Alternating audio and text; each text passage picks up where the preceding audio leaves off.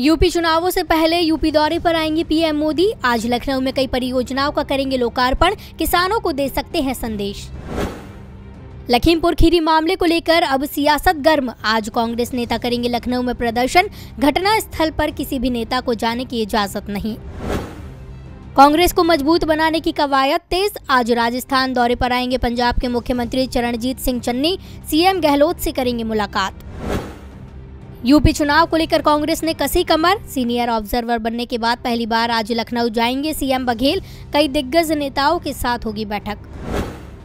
मध्य प्रदेश में उपचुनाव को लेकर सियासत गर्म। आज तय हो जाएगा बीजेपी उम्मीदवारों का नाम। अर्चना चिटनीस ने वीडी शर्मा से की मुलाकात। गुजरात में स्थानीय निकाय चुनाव के नतीजे आज होंगे घोषित। दांव पर लगी बीजेपी और कांग्रेस की साख। 60 फ़ीसदी से कम हुआ था मतदान।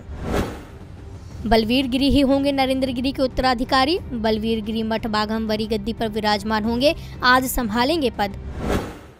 आज से अयोध्या में होगी विश्व की सबसे बड़ी रामलीला। पर्यटन मंत्री नीलकंठ तिवारी करेंगे उद्घाटन। रामलीला मंचन के लिए बनाया गया 130 फुट लंबा मंच।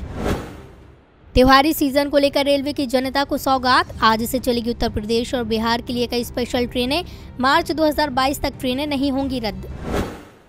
आईपीएल में आज भिड़ेंगे मुंबई इंडियंस और राजस्थान रॉयल्स। प्लेऑफ की रेस में शामिल है मुंबई और राजस्थान की टीमें।